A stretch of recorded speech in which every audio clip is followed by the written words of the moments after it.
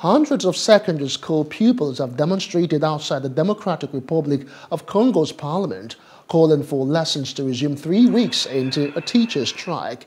A video shared by journalists on social media showed them being met by the parliament's deputy speaker.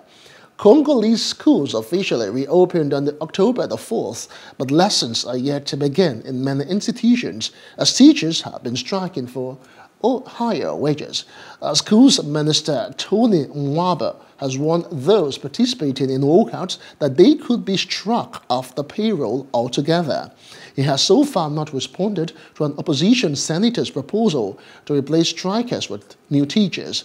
Now, President Felix Tshisekedi has made free primary school education central to his policy since September 2019 at an estimated cost of $2.6 billion per year, compared with a total government budget of almost $7 billion dollars in 2021. Hello. Hope you enjoyed the news. Please do subscribe to our YouTube channel and don't forget to hit the notification button so you get notified about fresh news updates.